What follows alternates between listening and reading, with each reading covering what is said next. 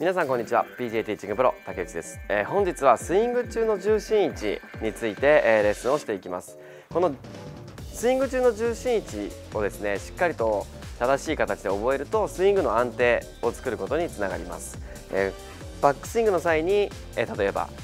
振り上げた時につま先側に大きくかかってきてしまったり逆にバックスイング上げた時にかかと側に多くかかってしまったりダウンスイングでつま先に行ってしまったりかかと側に行ってしまうと、えー、フィニッシュでバランスのいい、えー、スイングを作ることはできません。えこのですね重心位置というのはですねそんなにあまり着目されていませんが、えこの部分しっかりと押さえることで安定したスイングが作られますので今回は、えしっかりと聞いてください、えこのようなですね棒を1本用意してください、えよくあるこのラインを作るようなあの細い棒でも構いません、え今回はそれよりも少し太めの、えシャフトぐらいの太さの棒を用意しています、えこの棒をですね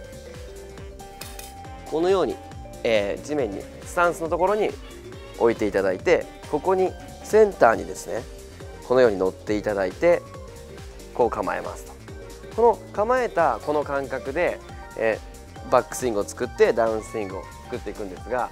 振り上げた際にこの真ん中に足がこのように乗っているのでここがバックスイングをトップに持っていた時にかかと側に乗ってきてしまう人は前の方に乗せないといけないなっていう意識。要はこのようにシーソンみたいな形でですね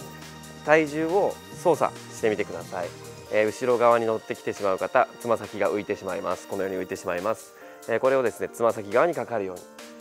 この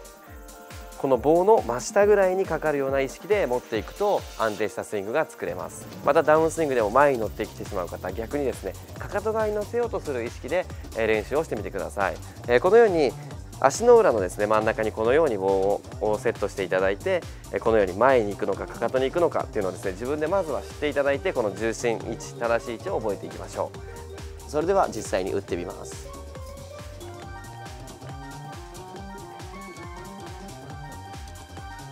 このように真ん中にセットしていただいてつま先側でもなくてかかと側でもないこの棒の真上になんとなく体重の重心位置が乗っているっていう感覚を作っていただいて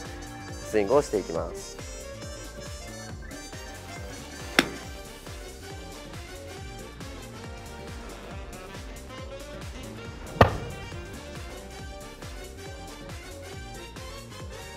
このような形です、えー、このようにですねスイングをゆっくりしていただいて、えこの重心位置チェックしてみてください。極端にですね前にかかってきてしまう方かかとに乗ってしまう方っていうのはですね、えこのぐらいの太い棒だと、え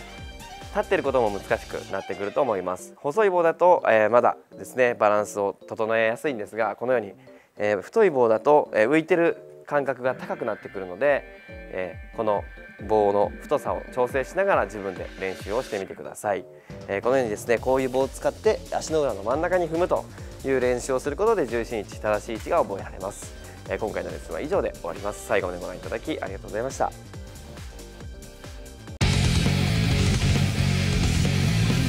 あなたのゴルフを格段に上達させる。PGA 竹内プロの5日間上達プログラムを期間限定で完全無料でプレゼント中。ゴルフの全てを解説されたこのプログラムで飛距離アップスコアアップ美しいスイングを手に入れろ。ライバルに一気に差をつけろ。